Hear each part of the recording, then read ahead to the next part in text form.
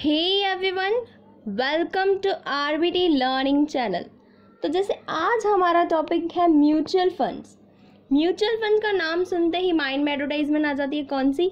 Mutual funds are subject to market risk please read all document carefully before investment तो ये क्या है? ये एडवर्टाइजमेंट कोड है जो हर कंपनी को फॉलो करना पड़ता है यानी उनको ये वार्निंग देनी ही पड़ती है एडवर्टाइजमेंट दे रहे हैं वो तो।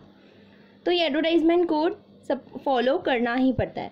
और आज इस लेक्चर में हम लोग कवर करने वाले हैं म्यूचुअल फंड की मीनिंग उसके advantages and disadvantages and types तो चलिए स्टार्ट करते हैं। मीनिंग से mutual fund is a professionally managed investment scheme usually run by an asset management company तो ये क्या है? ये एक ऐसी इन्वेस्टमेंट स्कीम है जिसको प्रोफेशनल एक्सपर्ट चलाते हैं। यानी वो कौन है? असेट मैनेजमेंट कंपनी उनको चलाती है इन फंड्स को। And it is a mechanism of pooling the funds of peoples and invest their money in equities bonds और अदर सिक्योरिटीज़ अभी यहाँ पे क्या हो रहा है? फंड्स की पूलिंग हो रही है। यानी एक जगह पे फंड्स क्या हो रहे हैं? पूल हो रहे हैं, यानी जमा हो रहे हैं उसके बाद उन फंड्स को क्या किया जाता है? डाइवर्सिफाई किया जाता है हर अलग अलग फंड्स में अलग अलग स्कीम में फिर उन्होंने उन्हें लगाया जाता है फंड्स को। तो ये फंड्स का क्या हो रहा है? डाइवर्सिफिकेशन हो रहा है। कहाँ कहाँ पे लगते हैं? इक्विटीज़ में लग सकते हैं बॉन्ड्स में लगते हैं अदर सिक्योरिटीज़ में लगते हैं। जैसे अब अगर हम लोग को करनी है, अगर हम शेयर मार्केट के बारे में सोचते हैं तो शेयर मार्केट में हमें अमाउंट अच्छा खासा चाहिए रहेगा। एंड उसके बाद अगर एक शेयर परचेज़ करना है तो उसकी वैल्यू देखनी पड़ेगी। इफ़ अगर शेयर की वैल्यू एग्ज़ाम्पल अगर टेन थाउज़ेंड है तो मैं वो एक शेयर कैसे परचेज़ करूँ? को परचेज़ कैसे करें? तो इसके वजह से ये म्यूचुअल फ़ंड की स्कीम है, यानी वहाँ पे अभी हर एक जो भी पर्सन है, उसका वन वन थाउज़ेंड एग्ज़ाम्पल आ रहा है। इफ़ वन वन थाउज़ेंड आके आके फाइनली टेन थाउज़ेंड कंप्लीट होते हैं एंड वो अमाउंट कंप्लीट हो जाता है एंड फाइनली उन्हें इसे इन्वेस्ट किया जाता है इक्विटीज़ में या और ऐसे ही डेट फंड्स में, कहाँ पे भी हाउसिंग फंड्स में, वहाँ पे म्यूचुअल फंड ऐसे वर्क करते हैं, यानी इन्वेस्टर की मनी को पूल किया जाता है, जमा होते हैं पैसे एंड बाद में उन्हें तो ये है इसकी मीनिंग नेक्स्ट है एडवांटेजेस एंड डिसएडवांटेजेस अगर कोई चीज़ के एडवांटेजेस हैं तो डिसएडवांटेजेस भी होते ही हैं। म्यूचुअल फंड के केसेस में भी क्या है? फ़र्स्ट एडवांटेज है एक्सपर्टाइज मैनेजमेंट। हमें यहाँ पे क्या मिल रहा है? एक्सपर्टाइज मैनेजमेंट मिल रही है, यानी असेट मैनेजमेंट कंपनी है प्रॉपरली उसको मैनेज कर रही है पीपल्स हैं एक्सपर्ट्स हैं। बट दूसरी जगह पे डिसएडवांटेज वैसे ही कैसे? पुअर प्लानिंग है, यानी प्रॉपर प्लानिंग नहीं होती है ना? एंड इन्वेस्टमेंट होती जाती है तो ये क्या है? एक डिसएडवांटेज बन जाता है, यानी प्रॉपरली इन्वेस्टमेंट नहीं हो पाती है तो। ये क्या बन जाता है? डिसएडवांटेज बन जाता है। वैसे ही सेकंड है गुड रिटर्न्स अभी गुड रिटर्न्स यहाँ पे एक एडवांटेज है। यानी अच्छा खासा रिटर्न मिल जाता है म्यूचुअल फंड की स्कीम में कोई इन्वेस्ट कर रहा है, यानी टेन ट्वेंटी थर्टी परसेंट तक आपको अच्छा खासा रिटर्न मिल जाएगा। बट इससे ही अलावा अगर हम लोग सेविंग अकाउंट में करते हैं तो फोर टू फाइव परसेंट मिलेगा। एंड उसके बाद एफ़ में करते हैं तो डिसएडवांटेज क्या है कि एक मनी लॉक हो जाता है हमारा फिक्स पीरियड ऑफ़ टाइम तक।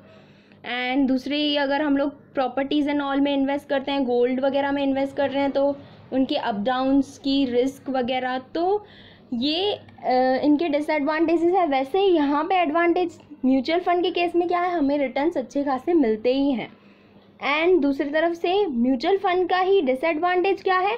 हाई ब्रोकरेज यानी समटाइम्स हम लोग बाय एंड सेल करने परचेस करने के चक्कर में हमें हाई ब्रोकरेज पे करनी पड़ती है कमीशन पे करनी पड़ती है। वैसे तो असेट मैनेजमेंट कंपनी पूरा, पूरे फंड्स को क्या करती है मैनेज करती है। एंड उसके बाद जो भी रिटर्न्स आते हैं, उसका कुछ वन परसेंट वो लेगी एंड बाकी रिटर्न्स हमें मिल जाते हैं। बट अगर हम लोग को, हम फ्रीक्वेंटली बाय एंड सेल कर रहे हैं तो वो टाइम पे हमें ब्रोकरेज पे करनी पड़ती है कमीशन पे करनी पड़ती है तो वो टाइम पे ये हमारे लिए एक डिसएडवांटेज बन जाएगा। एंड थर्ड एडवांटेज है डाइवर्सिफिकेशन यानी हमारे फंड को अच्छा खासा डाइवर्सिफिकेशन किया जा रहा है, हर एक प्लेस पे क्या किया जा रहा है, उसको हो है। एंड दूसरी तरफ़ से डिसएडवांटेज है कि लूजिंग फोकस यानी फोकस नहीं हो पा रहा है कि कौन से एरियाज़ में करना ज़्यादा एडवांटेजेबल है, कौन सा डिसएडवांटेजेबल है। तो फोकस प्रॉपर नहीं हो पाता है समटाइम्स तो वो हमारे लिए डिसएडवांटेज बन जाता है। एंड फोर्थ है लिक्विडिटी तो इजीली लिक्विडेट है, हमें हमें जब चाहे हम सेल कर सकते हैं, जब चाहे परचेज कर सकते हैं तो लिक्विडेशन है इजीली कैश में कन्वर्ट कर सकते हैं। वैसे ही डिसएडवांटेज का है? क्विक सेल लेस रिटर्न तो हमें जल्दी जल्दी के सेल करने के चक्कर में रिटर्न्स क्या होते हैं? कम होते हैं। यानी मुझे मनी की नीड है, कि मुझे रिडम्शन करना है, यानी सेलिंग करनी है तो वो टाइम पे लॉस भी चल रहा है, वो केस में भी वो म्यूचुअल फंड्स को क्या करना पड़ता है? उनको सेल करना पड़ता है एंड पर्टिकुलर अमाउंट पे करते हैं। तो हमें वो टाइम पे क्या होता है? लॉस होता है लेस रिटर्न आते हैं। तो ये एक हमारे लिए क्या बन जाएगा? डिसएडवांटेज बन जाएगा। तो ये एडवांटेजेस भी हैं तो कुछ डिसएडवांटेजेस भी हैं। नेक्स्ट हमारा टॉपिक है टाइप्स टाइप्स अलग अलग बेस्ड हैं। जैसे फ़र्स्ट बेस्ड ऑन स्ट्रक्चर है। तो स्ट्रक्चर के बेस पे ओपन एंडेड फंड्स हैं और क्लोज एंडेड फंड्स हैं। अभी ओपन एंडेड फंड्स क्या होते हैं? वो फंड्स हैं जो परचेज किए जाते हैं। कौन से भी डे पे एनी टाइम हम लोग परचेज कर सकते हैं। हम लोग ये स्कीम परचेज कर रहे हैं ओपन एंडेड की।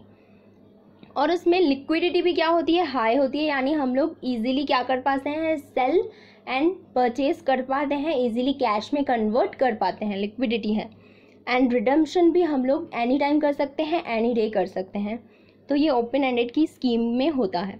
वैसे ही दूसरी तरफ़ क्लोज एंडेड स्कीम अपोजिट है यानी परचेज हम लोग पर्टिकुलर ऑफ़र के टाइम पे ही कर पाएँगे। ऑफ़र आया तो हम लोग को परचेज करेंगे नहीं तो नहीं हो सकता। एंड उसमें लिक्विडिटी भी क्या है? क्लोज एंडेड में लिक्विडिटी भी बहुत लो है यानी हम लोग बहुत आ, मतलब यहाँ पे लिक्विडिटी भी क्या है? बहुत लो है यानी इजीली हम लोग मनी को मनी में कन्वर्ट नहीं कर पाएँगे।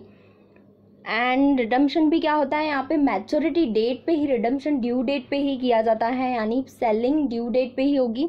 एनी टाइम हम लोग एनी डे पे हम लोग सेलिंग नहीं कर पाएँगे।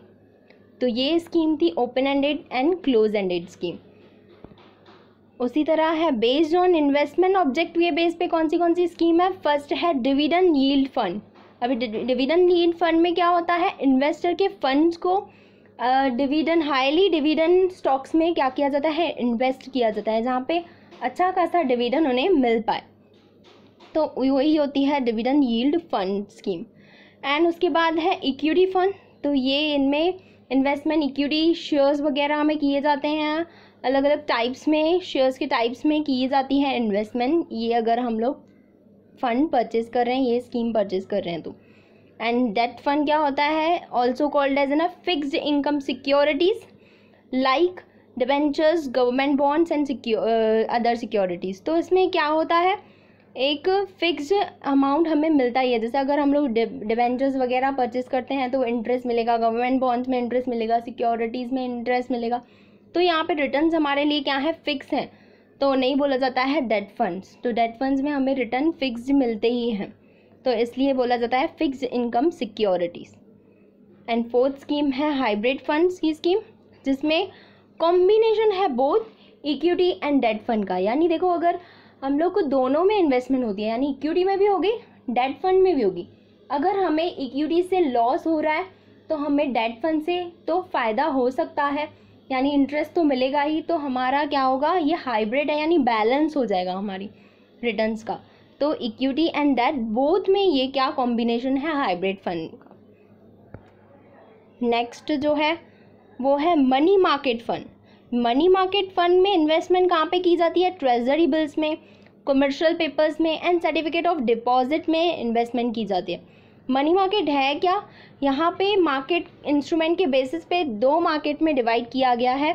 एक है कैपिटल मार्केट इंस्ट्रूमेंट दूसरा है मनी मार्केट इंस्ट्रूमेंट दो टाइप के मार्केट्स इंस्ट्रूमेंट हैं capital market instrument and money market instrument जो कैपिटल मार्केट इंस्ट्रूमेंट है, वो instrument longer period of time के लिए होते हैं। यानी अगर हम लोग परचेज करेंगे तो हमें मोर देन वन ईयर्स उनको क्या करना पड़ेगा? होल्ड करना पड़ेगा। एंड जो दूसरी तरफ़ मनी मार्केट इंस्ट्रूमेंट है, वो लेस देन वन ईयर्स तक होते हैं। यानी वो हमें लेस देन वन ईयर्स तक हम उनको होल्ड कर पाते हैं। तो capital market more than one year and money market less than one year वैसे ही इनका एग्जाम्पल्स क्या है? जो कैपिटल मार्केट में इंस्ट्रूमेंट्स होते हैं, वो कौन से हैं? शेयर्स है बॉन्ड्स है डिबेंचर्स हैं। तो ये लॉन्गर पीरियड ऑफ़ टाइम के लिए होते हैं for one year more than one year and money market में एग्जाम्पल्स हैं bills of exchange T bills यानी ट्रेजरी बिल्स तो ये जो मनी मार्केट फंड स्कीम है ना, वो इसमें ही इन्वेस्ट करती है for lesser than one year के पीरियड के स्कीम में। एंड उसमें कौन सी कौन सी इन्वेस्टमेंट है? ट्रेजरी बिल्स की bills of exchange commercial papers certificate of deposit इन सब में इन्वेस्टमेंट होती है। तो उसे बोला जाता है money market fund scheme next जो स्कीम का बेस है अदर टाइप्स हैं। कुछ अलग अदर टाइप्स हैं। कौन से हैं? फ़र्स्ट है टैक्स सेविंग म्यूचुअल फंड्स अभी टैक्स सेविंग म्यूचुअल फंड्स में क्या होता है ना? हमें टैक्स में हम लोग को क्या मिलती है? डिडक्शंस मिलती हैं। तो ये individuals and H U F तो टैक्स सेविंग स्कीम में ये एडवांटेज है कि हमें बेनिफिट मिलता है ए के अंदर और डिडक्शंस मिलते हैं ए के अंदर। दूसरा है फंड ऑफ़ फंड स्कीम तो फंड ऑफ़ फंड स्कीम में क्या तो होता है it is an multiple manager investment scheme है where funds are pooled and invested in different types of funds यानी अलग अलग फंड्स में क्या किया जा रहा है इसमें? uh, मतलब फंड में टाइप्स में क्या इन्वेस्ट किया जाता है। यानी एग्ज़ाम्पल है ये फ़ंड को debt funds and equity funds both में इन्वेस्ट किया जाता है। अगर इक्विटी फंड में मार्केट अगर क्या चल रहा है, बहुत डाउन चल रहा है, बहुत एक्सपेंसेस हैं इक्विटी फंड में तो क्या हो जाता है ना, जो इक्विटी फंड हमारा है ना, वो कन्वर्ट हो जाता है किसमें? डेट फंड में। यानी डेट फंड में हमारे फिर वहाँ पे हम, वहाँ से हमें अच्छा खासा इंटरेस्ट वगैरह मिलता है। यानी यहाँ पे क्या हो जा रहा है फंड का कन्वर्ट हो जा रहा है इक्विटी से डेप्ट में, या वाइज वर्जा डेप्ट से इक्विटी में भी हो सकता हो सकता है तो ये है फंड ऑफ़ फंड स्कीम में। एंड उसके बाद एक टॉपिक है S I P S I P क्या होता है? सिस्टमैटिक इन्वेस्टमेंट प्लान है। इसमें क्या होता है? सेविंग अकाउंट से फिक्स अमाउंट मंथली या क्वार्टरली बोला जाता है बैंकों की डिडक्ट होए। एंड डिडक्ट किया जाता है बैंक से अकाउंट से एंड पर्टिकुलर फंड स्कीम में। वो अमाउंट जाता है तो ये एक है एस आई पी बोला जाता है सिस्टमेटिक इन्वेस्टमेंट प्लान इफ़ आपको लेक्चर की पीडीएफ चाहिए तो वो नीचे डिस्क्रिप्शन में लिंक है, आप वहाँ पे जाके डाउनलोड कर सकते हैं. यही थैंक यू टेक केयर